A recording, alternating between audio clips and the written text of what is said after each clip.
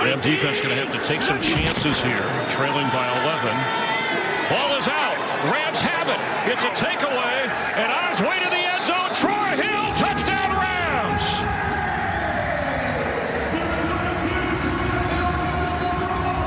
Doesn't have it going. And, you, Do- and Donald forced this fumble. Look absolutely.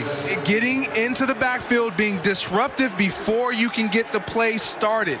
And Hill is Johnny on the spot, and he picks it up.